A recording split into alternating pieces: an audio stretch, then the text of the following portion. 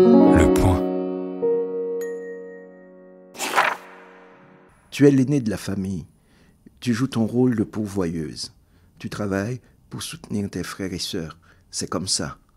Vous êtes cinq sœurs et tu n'es jamais la première à porter la robe achetée. Ce que tu achètes est pour les autres. Ton salaire est partagé en petits lots de quatre ou cinq. Pendant longtemps, c'est le seul salaire de la famille. Tu n'avoueras jamais ces choses-là. Je regarde autour, l'église se remplit malgré la tempête. Tes amis et la famille répondent à ton dernier appel. La trompette du Seigneur répand son doux chant. Je croise des regards compatissants. Ils viennent des États-Unis et du Canada. Certains arrivent même du pays. Mourir à l'étranger, ça ressemble à ça, cette cérémonie en noir et blanc sous la grosse neige. Je comprends pourquoi les gens du pays pourri détestent mourir à l'étranger. Ils veulent retourner mourir en paix chez eux pour que leur corps repose sous la terre qui les a vus naître. La mort, là-bas au pays où est planté leur ombilique, c'est un tout autre rituel, avec assemblée d'audienceurs, de saltimbanques et d'ivrognes. On dirait un carnaval où la danse de la mort croise la contredanse de la vie. Le sentier est le même qui débouche sous la même fenêtre, avec les mêmes cris, les mêmes sagesses et les mêmes peurs. Les gens disent que tu retournes en terre Guinée, au pays de tes ancêtres. Tu retournes au commencement de toi-même pour boucler la boucle. La mort est pour toi, chère Bertha, le chemin de la vérité qui rappelle que nous sommes poussière, grain de sable entre le sable, vague entre les vagues, silence dans l'éternel silence de la vallée. Bonjour Rodney Saint-Éloi. Bonjour Valérie.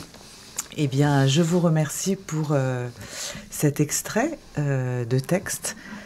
Et c'est votre nouveau livre, Quand il fait triste, Bertha chante, qui vient de paraître euh, aux éditions Héloïse Dormesson et qui est en lice pour le prix France Télévisions 2022. C'est un tombeau pour votre mère, Bertha, morte beaucoup trop tôt, aux États-Unis où elle vivait. À 72 ans, elle ne s'est pas relevée d'une chute sur les marches de l'église. Bertha, c'est une femme courage, comme celle à laquelle vous dédiez ce livre, Mireille Perraudin Jérôme, galeriste à Port-au-Prince, la capitale d'Haïti, l'île où vous avez vu le jour en 1963, dans la petite ville de Cavaillon, comme celle du sud de la France, dont on connaît bien les melons. Un roman, si l'on peut dire, car il est largement autobiographique. C'est sans doute votre premier roman. Vous avez publié des récits euh, nés de contextes où la réalité vous convoque, dirait-on, comme Haïti Kembela, Haïti redresse-toi, écrit à la suite du tremblement de terre de votre terre natale en 2010, un livre publié chez Michel Lafon, et tremblement de terre que vous avez vécu sur place. Vous, vous y étiez alors pour le festival Étonnant Voyageur qui devait s'y ouvrir. Un premier roman aussi parce que, plus que romancier, vous êtes d'abord et avant tout un poète, René Saint-Éloi, comme tout haïtien qui se respecte, pourrait-on dire un peu facilement. et pour vous suivre dans cette voie, l'anthologie Nous ne trahirons pas le poème et autres recueils, qui est paru aux éditions Point en 2021, est une merveilleuse entrée en matière.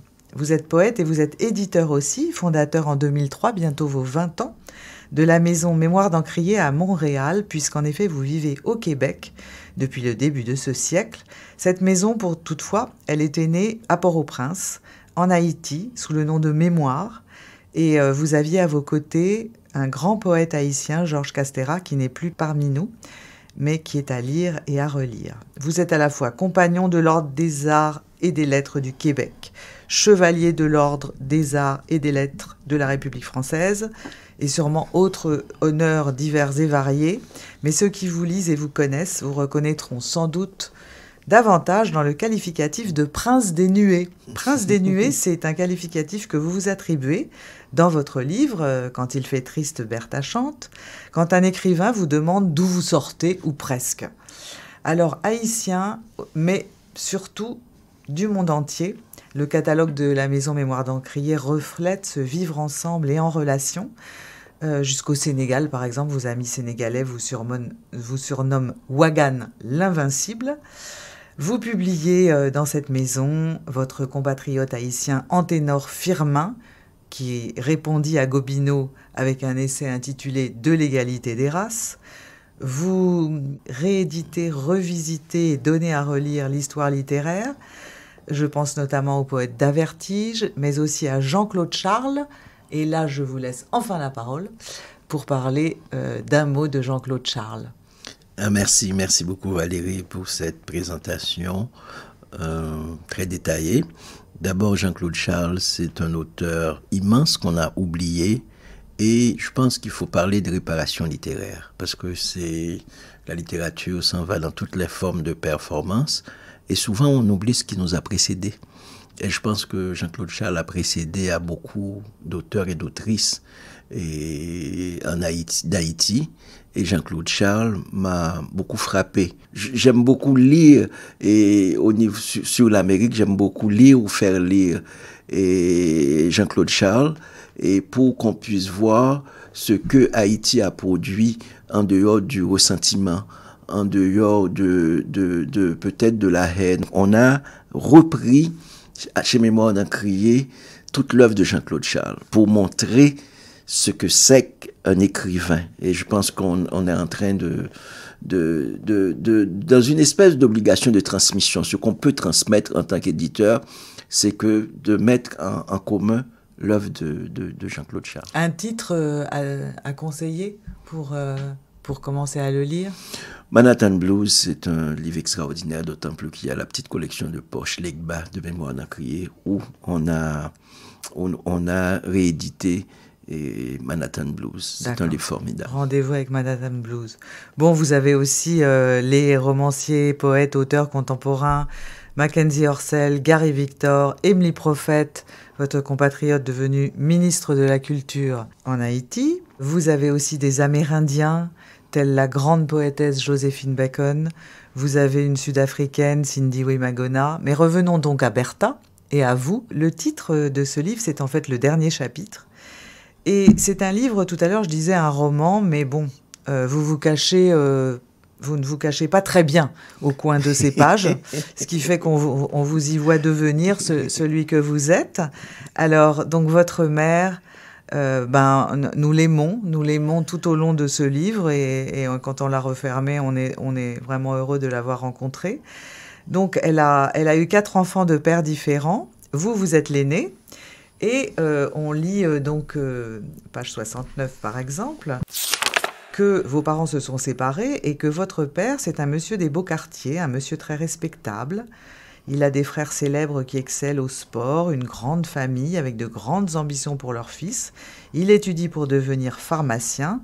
Et toi, donc ça, vous, vous parlez à votre mère Bertha, tu es en apprentissage chez sa mère comme couturière, ou plutôt chez sa grand-mère, je ne sais pas trop.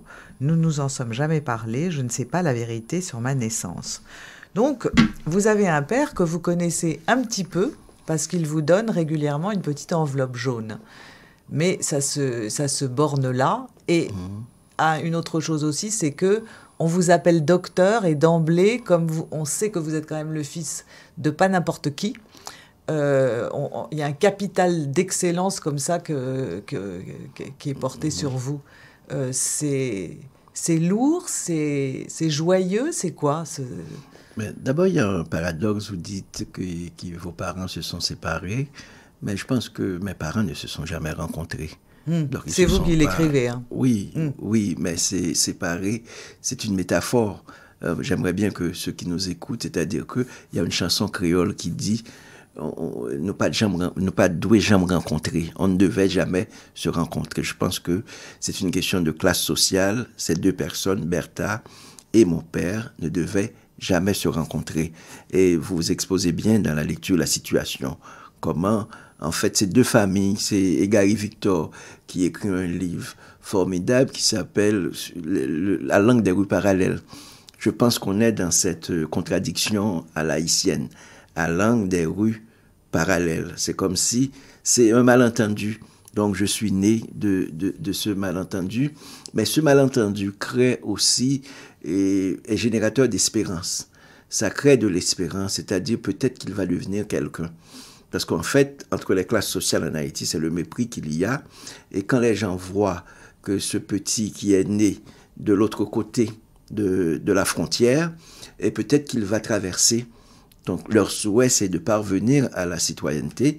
Donc finalement, quand les gens me regardent, les gens m'appelaient docteur, aviateur, ingénieur, et, etc. Parce que avocat, parce que les gens se projettent sur moi. Mhm. Et, et c'est une responsabilité très très lourde parce que les gens disent au moins lui, il n'est pas comme nous. Il y a un père qui amène une enveloppe. Hmm. Est-ce que vous voyez Donc pour les gens, c'est que et, mais sur moi, c'était, c'était très lourd. Et l'héritage aussi, c'est la même chose par rapport à, la langue française. Quand vous rentrez à l'école, on vous dit dans cette petite phrase, beaucoup d'Haïtiens le connaissent, et Franck Etienne en a beaucoup parlé, exprime-toi. Parce que en tant tu ne parles que le créole et tu t'exprimes dans une langue, tu es complètement monolingue. Et puis on te, tu vas à l'école dans une autre langue, qui est la langue française, et quand tu arrives, il y a un professeur qui ne maîtrise pas nécessairement la langue française. La première injonction, c'est exprime-toi. Exprime-toi, c'est-à-dire parler dans une langue que tu ne connais pas. Donc je pense qu'il y a un ensemble de paradoxes et je suis né de ces paradoxes et tous ces paradoxes sont porteurs d'espérance de citoyenneté. Fais de ce petit un citoyen. Hmm. Donne du respect à ce petit. Pour, pour donner du respect, il faut passer par la langue française. Pour donner du respect, il faut sortir de la communauté pour traverser de l'autre côté de, de, la barricade. Y compris euh, au niveau de la couleur, puisque euh, donc votre père était, mulâtre et, votre mère noire, et donc on l'a compris d'une condition très modeste, puisque vous parlez justement de, de, changement de, classe sociale. Alors euh, là, si, on, si on va un petit peu plus loin dans votre, dans votre parcours, euh, on, peut se demander que vient faire la littérature dans cette affaire. C'est-à-dire, euh, d'accord, euh, vous, allez dans un, collège plutôt mieux que les autres, mais après tout, vous auriez pu devenir justement avocat, ingénieur et pourquoi pas médecin. Qu'est-ce qui a fait de vous un homme de lettres?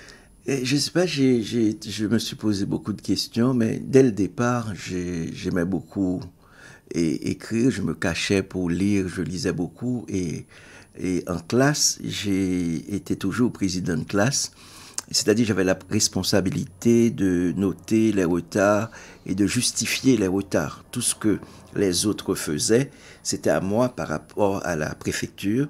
De, il y avait le préfet, je devais notifier qu'est-ce qui arrive à tel, à tel auteur, pourquoi tel auteur n'a pas tel à tel problème. Donc c'est à moi de justifier.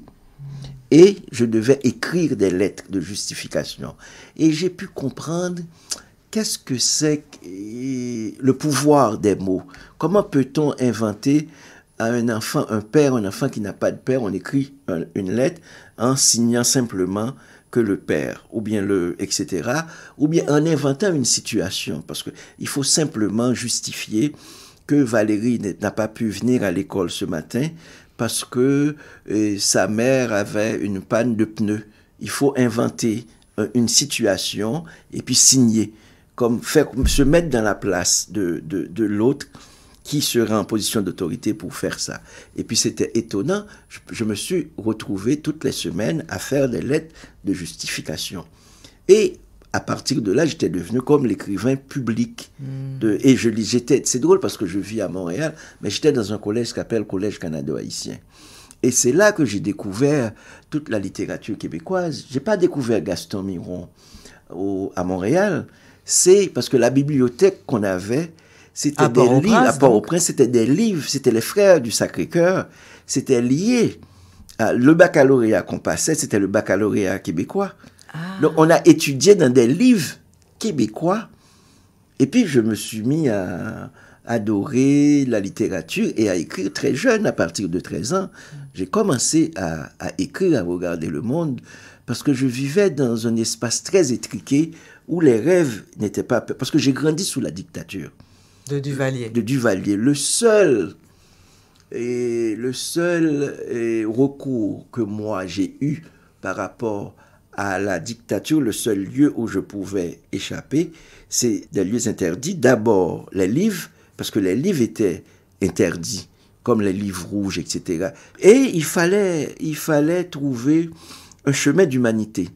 Il fallait trouver un sens de l'intelligence. Et c'est par le livre qu'il faut trouver ce sens de l'intelligence et par le rêve. Et tout ce qui permettait de rêver, c'était comme de lire, de, découvrir des Et quand on découvrait les auteurs, on les lisait, et pas pour les lire, mais pour les mémoriser, pour les incorporer. Parce qu'il n'y avait pas beaucoup de livres. À, part, à part le cadre scolaire, il n'y avait pas de, quasiment pas de... Non, il y avait, avant, après, il y aura des livres, on va découvrir des livres, mais très jeune, il n'y avait, pas de, il avait pas de bibliothèque à la maison, mais il y avait la Bible, et Tida me faisait lire la Bible. Tida, c'est votre grand-mère. ma grand-mère mm. qui me faisait lire la Bible. Et Psaume 23, l'Éternel est mon berger, je n'y manquerai de rien. Il me fait reposer dans de verts pâturages, etc. mais, mais c'est tellement beau que tous les soirs, et qu'on répétait ça, il y avait des livres dans la maison. Et elle, comme pendant 50 ans, elle allait à l'église, donc j'étais persuadé qu'elle savait lire. Donc l'écriture, l'alphabet et le, le, livre en soi, tout ça, sont rentrés par infraction chez moi, parce que j'ai eu une grand-mère qui, je pense qu'elle mentait, qu'elle me faisait croire qu'elle savait lire.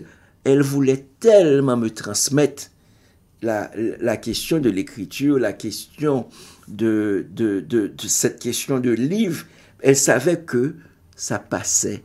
Devenir citoyen, en fait, avoir du respect ok, dans cette société, ça passait par les livres. Hmm. Et alors, euh, donc, euh, vous, vous parlez d'Haïti euh, sous la dictature de Duvalier, et je suis en train de penser que ce que vous avez eu, vous, qui était cette, cette possibilité de s'échapper par justement les livres, par une, une, excellente éducation. Et qu'est-ce que, pour devenir citoyen, quelqu'un qui, qui, a votre âge aujourd'hui en Haïti, qu'est-ce qui peut euh, Haïti que vous appelez pays pourri tout au long de, de, votre, de votre roman, Haïti auquel vous avez consacré un livre au contraire de, de passion, mhm.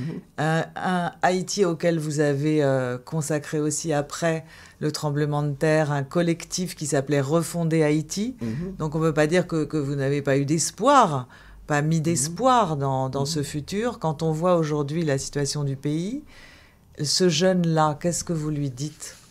Mais mm, pour moi, d'abord, il y a deux choses. C'est qu'il y a un épuisement de l'espoir. L'espoir que j'ai misé depuis tout le temps en disant Haïti chérie, etc. Donc, vous voyez, donc il y a un côté assez, pour moi, assez loufoque. Et de penser que on peut, de Montréal ou de Paris, reconstruire Haïti. Donc, je pense qu'il y a ce fantasme d'Haïti, c'est un fantasme. C'est-à-dire que tout Haïtien voulait écrire euh, le retour leur propre livre qui s'appelle Cahiers d'un retour au pays natal. Ça n'existe plus. Comme Césaire. C'est-à-dire que cette utopie du retour n'existe plus. C'est-à-dire que l'espoir d'un retour pour un Haïtien, ce qui était le plus commun pour un Haïtien il y a 10-15 ans, c'est que je retourne chez moi. C'était le n'importe quel Haïtien d'origine populaire, qui n'importe quel Haïtien intellectuel, c'est-à-dire qu'il y avait un rêve avoué c'est même pas inavoué, c'est un rêve avoué. Il y a des Haïtiens qui passent 30 ans, 40 ans en exil et qui avaient leur mal à côté d'eux pour retourner à n'importe quel moment, prendre l'avion, retourner en Haïti. Donc, c'est-à-dire cette utopie n'existe plus. Donc, à mon âge, je te dis, cette utopie n'existe plus. Il n'y a plus de cahier dans l'imaginaire. Cette, cette utopie est épuisée, cet espoir-là est épuisé. Et quand moi je vais en Haïti, je sens cet épuisement de l'espoir. Vraiment, il y a un épuisement de l'espoir. Donc, c'est-à-dire Haïti, pouvoir projeter Haïti dans le temps, on essaie de, comprendre. On essaie de comprendre. Et puis en Haïti, on voit que tout le monde, le verbe en Haïti le plus utilisé aujourd'hui, ou bien le plus rêvé, c'est partir. Donc, et, et, des gens qui voulaient même pas, même plus partir. C'est que dans le livre, j'ai beaucoup parlé de ce qui lie peut-être deux Haïtiens entre eux aujourd'hui, en fait, ça fait longtemps que ça existe, c'est le mépris. Une société ne peut pas se fonder sur le mépris. Vous avez cité des, auteurs et c'est très difficile pour moi de voir que Haïti est en train de se reproduire à Montréal, à Paris, un petit peu partout, parce qu'on rencontre tellement d'Haïtiens qui fuient Haïti et qui sont en train de reproduire en terre étrangère. Je ne peux pas dire à un jeune, aux jeunes qui nous écoutent là de partir, parce que les moyens qu'on avait peut-être pour partir ou bien pour ah peut-être qu'il n'y a pas. Il faut pas penser qu'on peut faire usage du monde, qu'on a même qu'on a. C'est vraiment une chance aujourd'hui de partir en Haïti. C'est vraiment une chance et à laquelle peut-être que toute la population rêve. Mais c'est, on est face à une impossibilité. Et je peux pas dire comme Kembela et que ça va aller Kembela, c'était donc redresse, c'était redresse-toi, oui, juste après le séisme. Oui, tiens bon, parce qu'on est dans la catastrophe. On vit, c'est la guerre en Haïti, c'est vraiment la guerre. Mm. Et que pour, pour vivre, pour être debout, pour ne pas être tué, on est face à un État qui est dans une décomposition réelle. Mm. Il faut vraiment savoir. À un moment, oui, vous, mhm. parlez, de, vous parlez justement de, de, ce, de ce pays et de son histoire. Euh, et vous dites, euh, nous chantons, nous dansons, nous, nous, hurlons à bout de souffle, liberté, égalité, fraternité. Et les mots de le temps de nous en apercevoir désertent les corps. Et vous dites, vous, dites aussi que, c'est un état de guerre vociférant nous sommes en guerre, nous sommes la guerre, nous répétons, ouvrant grand les fenêtres, les mêmes hymnes face à la mer, face à la mort, face au vent contraire. Nous crions tonnerre de Dieu, premier pays nègre indépendant, la liberté ou la mort. Nous sommes en guerre contre nous-mêmes, nous sommes encore esclaves pour cacher la honte après moult signes de croix, répétant à haute voix l'histoire glorieuse du pays, bataille de Vertières, cérémonie du bois caïman, guerriers que nous naissons, guerriers que nous mourrons. Et là, je, suis obligée de faire une incursion sur cette enquête du New York Times et, de, et toutes ces, qui ne sont pas des révélations, mais des confirmations, des pièces à conviction pour dire que oui, l'état dans lequel Haïti se trouve aujourd'hui est totalement lié à la dette euh, que le pays a dû payer au moment de son indépendance aux colons. Euh, qui, qui, étaient riches de euh, l'esclavage et de cette colonie, et euh, je voudrais savoir euh, comment vous vous placez par, par rapport à ça. Moi, je suis très heureux que finalement l'Occident le dise et l'assume parce que euh, Jean-Bertrand Aristide l'avait dit et ça a été suivi par un coup d'État en fait. Et on a ça a été clairement établi que que tout le monde avait sa part dans en fait il, n'y avait pas que les, étrangers que les, les, Français et les et les et les Américains il n'y avait pas que la France et les États-Unis, mais il y a nos élites locales aussi qui ont, qui, qui en fait sont, je veux dire, pas des laquais, mais qui sont dans, il y a une part de responsabilité parce que c'est tellement facile de dire que, parce que en Haïti, l'histoire de la pensée haïtienne a toujours posé de manière fondamentale, dès le 19e siècle, une question que je pense qui est fondamentale, incontournable, c'est la cause de nos malheurs. Cette question a toujours été posée par tous les intellectuels, la cause de nos malheurs. Et les Haïtiens ont toujours indiqué la dette de l'indépendance. Si aujourd'hui Gousti Gaillard en a fait sa thèse, il y a tellement d'Haïtiens qui en ont parlé. Il y a un livre là qui est sorti à Paris qui en parlait il y a un mois encore. Comme c'est New York Times, on, prend très au sérieux New York Times, mais tout le monde, oui. tout le monde en parle, cette dette de l'indépendance. Mais en plus de la dette de l'indépendance, on fait face à un racisme d'État structurel, c'est-à-dire que l'Occident a empêché le développement d'un pays. C'est pas d'un pays de, c'est-à-dire que le rapport tissé entre l'Occident, si vous allez voir en fait dans les autres pays, en Afrique et puis dans les autres pays de la... Vous allez voir des obstacles structurels, soit pour accumuler, soit dans la relation. Comment la relation est construite? La relation est construite d'empire à coloniser. Et c'est ça qu'on est en train de voir. Ce que New York Times révèle, New York Times ne révèle rien, tout était là, oui. on le mm-hmm. savait. Mm-hmm. New York Times nous montre pendant deux siècles comment le pays et comment les finances ont été contrôlées. Et avec ça, même si on était des génies, il ne peut y avoir en Haïti que de réussite individuelle.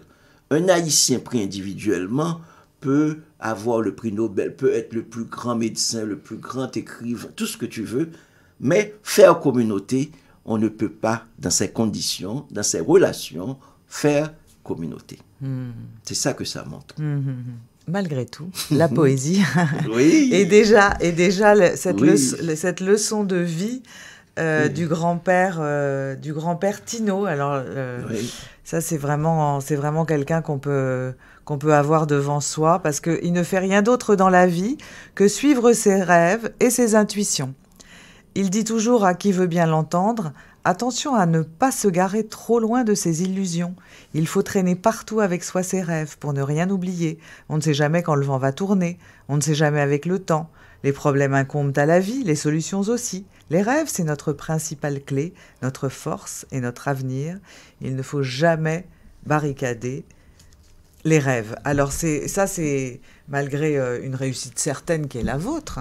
Euh, il y a quand même euh, ce grand-père Tino derrière, non? Oui, il est derrière. Il y a tout à l'heure vous disiez Valérie, qu'est-ce qu'on peut dire aux jeunes? Mais je pense que Tino leur parle aussi pour dire ne vivez pas trop loin de vos rêves quelle que soit la situation, quelle que soit la dégradation et la fragilité de la vie quotidienne en Haïti, mais et que ne vivez pas trop loin de vos rêves. Et que je pense que c'est humain. De... Mais Tino est, important puisque je suis élevé dans la magie. C'est-à-dire, il y a un mot créole qui dit, une expression qui dit « bas de l'eau pour faire beurre ». C'est-à-dire, les gens font du beurre à partir de l'eau. Aucune science ne peut expliquer ça. Mais en Haïti, on dit « bas de l'eau pour faire beurre ». Vous voyez donc, c'est ce miracle tous les jours. Et quand Césaire, Aimé Césaire parle pour dire au bout du petit matin, je pense au bout du petit matin haïtien, il y a toujours le miracle. Et pour moi, c'est comme un poème. Quand je rencontre, par exemple, je vais en Haïti, et il y a une richesse imaginable oh, par rapport à toute cette misère objective que l'on vit, et qu'il y a une richesse en voyant des femmes, par exemple, élever cinq enfants, et puis ces enfants vont devenir médecins, agronomes, ingénieurs, etc. Mais cette femme, elle est seule, comme pratiquement toutes les femmes populaires en Haïti. Elle est seule. Elle, comme Bertha. comme Bertha. Elle ne connaît pas le mot monoparental. Parce que toutes les femmes éduquent seules leurs enfants. Donc, c'est-à-dire, elle ne connaît pas ce mot. Et peut-être, et des fois, il y a de ces femmes-là, Bertha a eu la chance de travailler, mais il y a de ces femmes-là qui n'ont jamais eu la chance de vraiment avoir un travail. Et vous vous demandez, c'est tout un, tout, le dispositif est surréaliste, comment elle fait pour éduquer ses enfants et pour donner, qu'est-ce qu'elle transmet? Et tu trouves que ces gens de femmes arrivent à transmettre à ces cinq enfants une éducation, une manière d'être et une perspective d'espoir. Pour moi, c'est le miracle quand je vois ça. Alors, on va rester sur, euh, sur ce miracle et on, on vous laisse, euh, Rodney Saint-Éloi, donc euh, lire un petit extrait de Nous ne trahirons pas le poème, qui est apparu dans la collection Point, Poésie. Et puis, c'est le moment du coup de, de vous dire merci pour, pour cet entretien pour cette causerie et renvoyer donc euh, les auditeurs à votre livre paru aux éditions Héloïse Orbesson, Quand il fait triste, Bertha chante. Merci Valérie. Là je lis, je ne suis pas un guerrier, la guerre n'est pas mon métier. Je ramasse mes visages, fais le tour de la maison pour en créer le souvenir. Le piroguier avance, ondule mes sens, Eau profonde, je saute caïman, m'endors ville, me réveille forêt, marron, j'habite infini, la nuit, les métamorphoses. Merci.